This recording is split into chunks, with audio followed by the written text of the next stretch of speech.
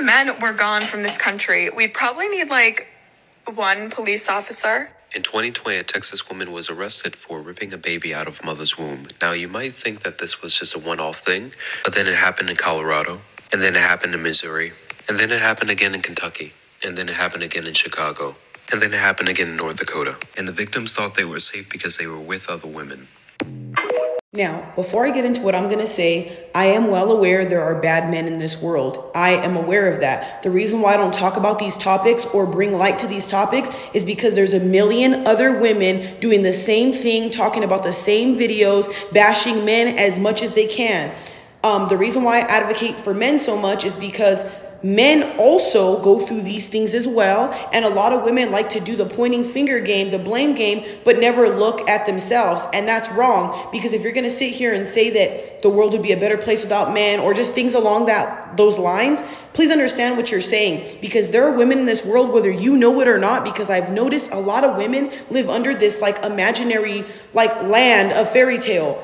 In reality, there are women who will lure kids to get sex trafficked. Do you know that? Women will help men do these type of things.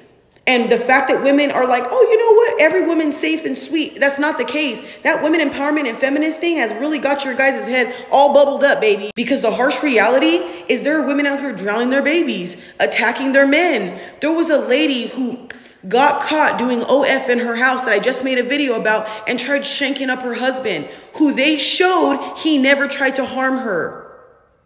So let's stop this now because both genders can cause damage. Both genders are can be toxic. Both genders can cheat. Both genders can lie. Both genders are capable of being abusive. But the fact that men get put into a corner every effing time when you guys don't look at the proof, did you guys also know this? Same sex marriages with the women, lesbians, they have a more higher rate of domestic violence. Do you know that statistically proven? So I don't I don't understand why you guys don't look at your facts first before you speak. Now, please don't tell me y'all forgot about Amber Heard. You know what's annoying? You guys will shove down, oh, Chris Brown did this, Chris Brown did that, down his throat. But the whole Amber Heard situation, or when it happens to a woman, how come I don't hear the same, you know, the uproar? Why is, aren't we still, you know, arguing about this? Exactly, because it happened to a man and you guys don't give a fuck. It bothers me.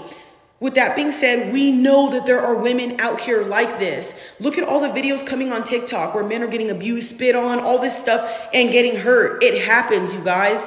Men's Mental Health Month is this month. But anyway, guys, this kind of stuff just bothers me because both genders are capable of destruction. The fact that we're pointing the fingers, we're not in high school anymore. Grow the fuck up.